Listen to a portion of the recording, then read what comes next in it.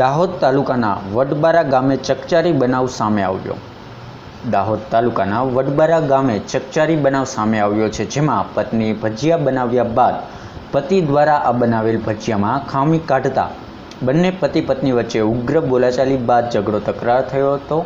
આ બાદ રાત્રિના સમયે આ બદલાની આગમાં પત્ની દ્વારા પતિ ઉપર હિંસક હુમલો કરી માથાના ભાગ, કાનની પાછળના ભાગે તથા આંખની નીચેના ભાગે દાંતરડા જેવા હથિયાર વડે તથા પથ્થર વડે ગંભીર માર મારતા પતિનું પતિનું ઘટના સ્થળ પર જ કરુણ મોત નીપજ્યું હતું ઘટનાની જાણ.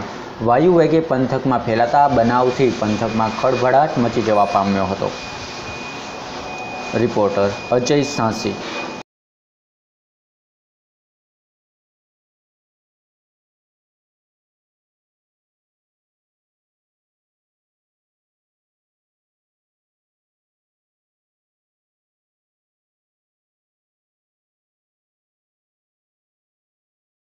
ઘટના બની હતી. શા માટે બની હતી? લગભગ સાંજે નવ વાગ્યાના આજુબાજુ ખાવા માટેનો ઝઘડો થયેલો. ઝઘડો થયા પછી અમે લોકો એને છૂટા કર્યા. છૂટા કર્યા પછી ઘરે જતા રહ્યા. ઘરે જતા પછી લગભગ ચાર વાગ્યાનો ટાઈમ હતો જ્યારે મૂર્તિ વલાવવાનો ટાઈમ હતો ત્યારે છોકરીએ આવીને એમને ઉઠાયો. ઉઠાયા પછી નહીં ઉઠ્યો. એના પછી છોકરે જોયો કે ઉઠતો નથી એમ કરીને બીજા છોકરાને મોકલ્યો. એ લોકોએ ગોદડું ઉઠાવીને જોયું.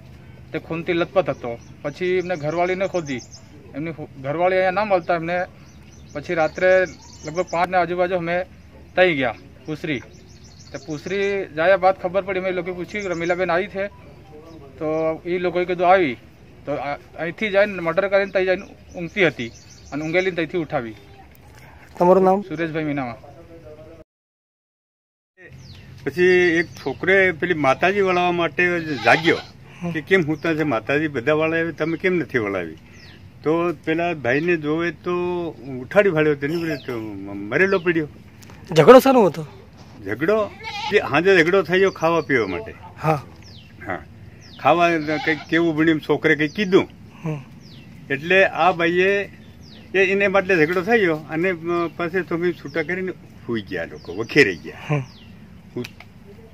રાત્રે આ ભાઈ અને મારીને જતી દીના પિયરમાં અને અમે અહીંથી એક છોકરે જાગ્યો એને ઉઠાડ્યો તો પેલો મરેલો જોયો. અમને ત્યાંથી બોલાયા. તો આ ભાઈની તપાસ કરી નહીં મળે. ભાઈ અહીંથી અમે એના પિયરમાં ગયા. પિયરમાં અમને મળી. તમારું નામ?